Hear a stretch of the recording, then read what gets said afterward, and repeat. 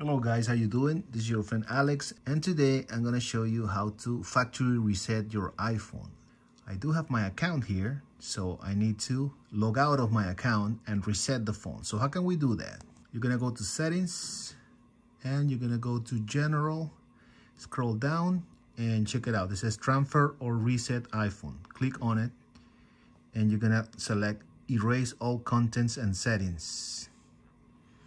Erasing will sign out of your Apple ID and remove your personal data so this iPhone can be safely traded in or give it away. The following items will be safely removed from this iPhone. Apps and data, 10 gigs, Apple ID, Find My Activation Lock, Apple Wallet. So I'm gonna click continue.